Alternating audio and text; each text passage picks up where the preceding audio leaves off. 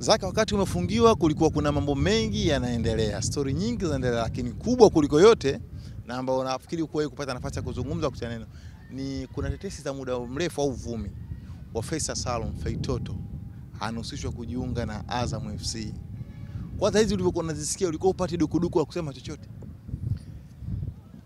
Ah, Hapana, mimi, si, mimi siwezi kusema kuhusu mchezo wa timu nyingine. Yaani mchezaji mimi nimeishi kwenye mpira, unajua mimi nimekuwa kwenye mpira muda mrefu sana, hata sio kazi, yani tangu mdogo sana niko kwenye mpira katika namna moja au nyingine.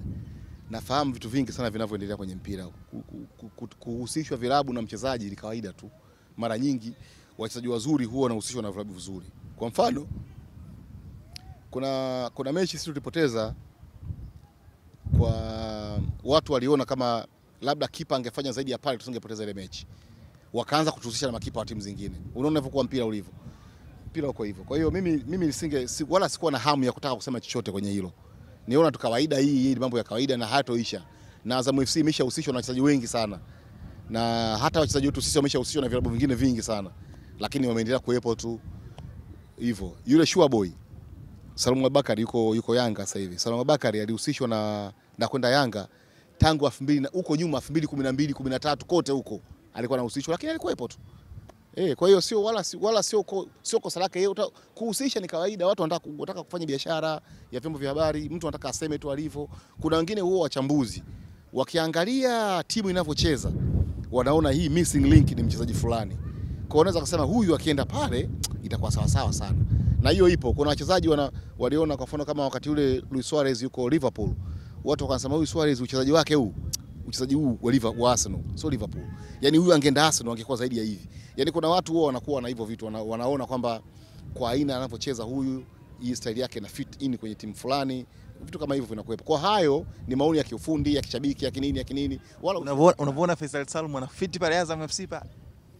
Mimi sio mchambuzi sasa, si, siwezi kusema hivyo sana, siwezi kusema hivyo, lakini mchezaji mzuri. Mimi nimeangalia mpira wa Tanzania muda mrefu, na fahamu wachezaji wazuri. Aa, ni mmoja wa wachezaji bora kutoka Zanzibar, wanavyomwita Zanzibar finest, hawana ko- Ni miongoni mwa wachezaji bora kutoka Zanzibar, na nadhani kwa miaka ya karibuni uh, yeye Faisal Mudathir Uh, nadhani wanakuja baada ya Babi, baada ya Abdi Kasim, hasa kwenye nafasi ya kiungo. Si sikumbuki kama kuna mtu uh, wa daraja lao hawa hivi karibuni. Baada ya Babi nadhani wanakuja hawa kina Mudathir na Faisal, kama kuna wengine kidogo nimewasahau kwenye nafasi hiyo, lakini uh, na, mm, na wengine huko nyuma walikopita wapo. Zanzibar ishatoka kina Thueniali. Nilikuwa naongea siku moja na mtu nikamwambia, bwana eh, Zanzibar ishatoka mtu mmoja kwa winga moja kwa Malindi, akaja akaenda Simba akaitwa Thueniali. Ile timu ya taifa ya Tanzania iliyokwenda AFCON 1980 yeye ndo kwa mfungaji bora wa timu. Of course timu ilifunga goli tatu, yeye alifunga magoli mawili. Kuna wengine wanasema alifunga magoli matatu yote, lakini uh, nilifuatilia sana nikaona goli moja lilifungwa na Juma Mkambi. Kwa hiyo alifunga magoli mawili. Uh, alikuwa winga moja matata sana. Kwa hiyo kumetoa wachezaji bora miaka na miaka. Zaka umemzungumzia Shwaboy, lakini alitoka Azam akaenda Yanga.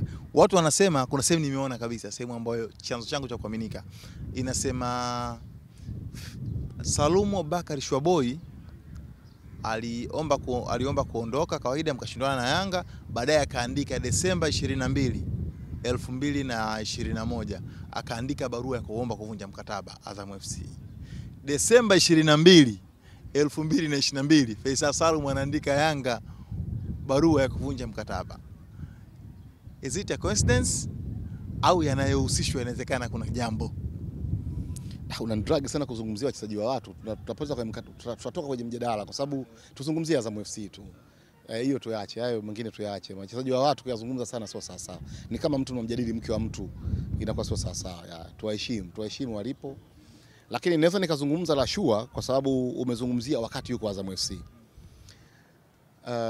kuna vitu vingi vinapotoshwa kwenye sakata la Shua.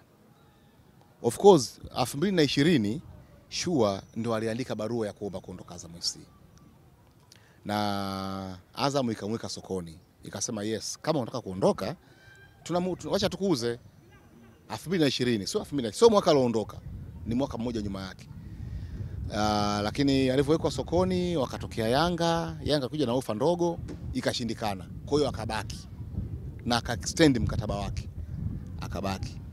Msimu ulivyoisha, msimu mpya unataka kuanza, yakatokea matatizo. Kwanza wakasimamishwa yeye Shua, Mudathiri na Gray, baadaye um, yakaisha yale na wakatakiwa kurudi kwenye timu, lakini Shua kiungwana tu akasema, bwana, mimi nimeishi na Azam FC muda mrefu sana, hamna maisha mengine ninayojua zaidi ya Azam FC, hebu naomba nikajua maisha mengine. Of course jambo sio baya, yani Shua unajua Azam haimdai, yani kaishafanya kila kitu kwa ajili ya Azam FC. Shua amekuja Azam FC 2007 amekaa 2007 mpaka 2021 unaangalia kwamba ah, tungependa angestafia kwetu sawa, lakini kwa sababu yeye kaona wacha akatafute maisha sehemu nyingine, akapate na marafiki wapya, kwa sababu maisha yasikufunge kuwa na marafiki wale wale tu kila siku. E, maisha yanatakiwa ya uwe na, uwe na, na ujifungu, ufunguke zaidi.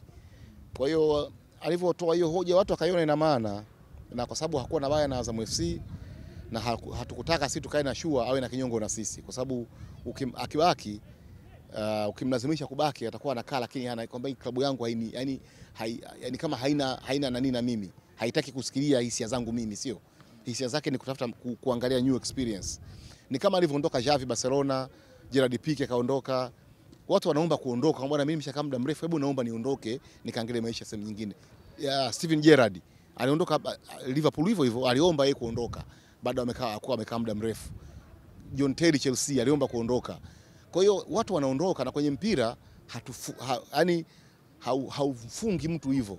Juzi tu hapa uh, na kuna makala inalukaluka sana Azam TV kila siku inaluka ya Sadio Mane. Uh, Jurgen Klopp anasema Sadio Mane alinifuata na kuniambia anaomba kwenda kutafuta maisha sehemu nyingine. Sasa Sadio Mane akajiunga na Liverpool mwaka gani? Nadhani 2016 sio hapa juzi tu. Lakini kakaa mpaka sasa hivi anasema sasa mtu aliyokaa tangu 2007 Unaona kwa nini usimruhusu? Unaweza kama mruhusu tu akaondoka. Kwa hiyo tuliona tuliangalia hilo kitu tukamruhusu. Tena sisi tulimruhusu hatukutaka chochote kutoka kwake. Uh, Sadio Mane alivyotaka kuondoka akawekwa sokoni, Bayern Munich wakamchukua waka- wakamnunua. Sisi hatukumweka tena sokoni kutaka kumuuza, tofauti na msimu mmoja uliopita. Tukasema tu, tu, tu tuvunje mkataba wake freely apate uhuru wa kuondoka ili mambo yasiwe mengi sana. Kwa hiyo tuka- kiroho safi kabisa, lakini sisi tunamhesabia kama mmoja wa legends wetu, hana baya na sisi.